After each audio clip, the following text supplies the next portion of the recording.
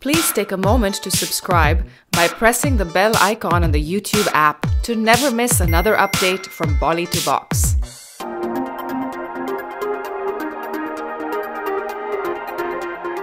दिशा पाटनी और सलमान खान के slow motion गाने ने भी फैंस का दिल जीत लिया। अब इसके बाद फैंस सलमान और कटरीना की केमिस्ट्री का जलवा भी देखना चाहते हैं और इसलिए मेकर्स ने अपनी फ़िल्म के चाशनी गाने के टीजर को अनवेल कर दिया था और इस टीजर को देखते ही फैंस के मन में इन दोनों के लिए प्यार की मिठास भर गई। फिर कुछ दिनों तक टीज करने के बाद मेकर्स ने चाशनी गाने को भी अनवील कर ही दिया, जिसे सोशल मीडिया पर लाइक्स और कमेंट्स का सैलाब आ गया।